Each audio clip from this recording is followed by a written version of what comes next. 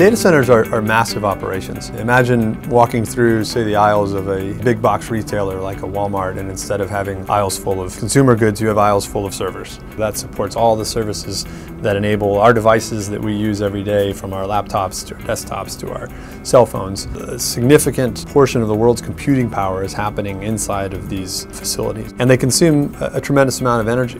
Microsoft sees climate change as a serious challenge that needs to be addressed by all sectors of society globally. So we set a carbon neutral policy in June of 2012 and we set an internal carbon price and we cascade that price through our business groups, collect the funds and invest the funds in environmental initiatives. Business units will see a fee for carbon, both for their energy consumption, uh, which is the energy they consume by hosting services inside of our data centers, as well as their air travel.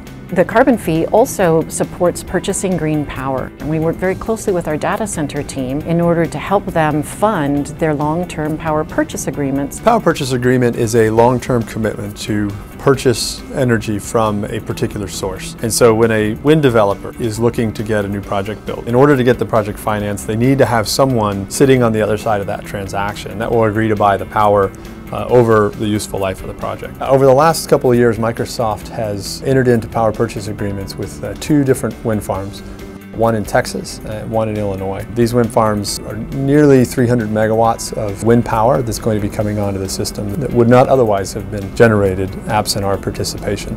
We expect the purchase of wind energy to result in several hundred thousand metric tons of carbon offset every year.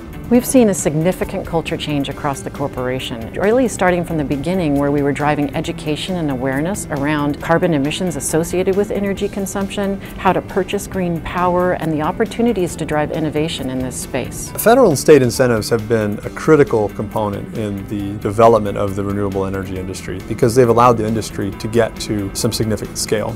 And that's something that has been very helpful to make that renewable energy available and get the supply up to the point where we can actually purchase over 3 billion kilowatt hours of renewable energy. In five or 10 years, uh, Microsoft's energy future uh, will look a lot different uh, than what it is today. It will be much greener. We'll have new technologies physically integrated into the data centers, things like fuel cells, microturbines, and other efficient ways of siting on-site power. And we'll also have a larger array of uh, utility scale resources that are similar to what we've done so far in wind. Microsoft sees this carbon fee as a huge success. Not only do we see the price signal reducing energy consumption, but we also see that the positive uplift of this value chain that happens from the investments turns into an, a complete virtuous cycle that's very positive for the company and for our customers.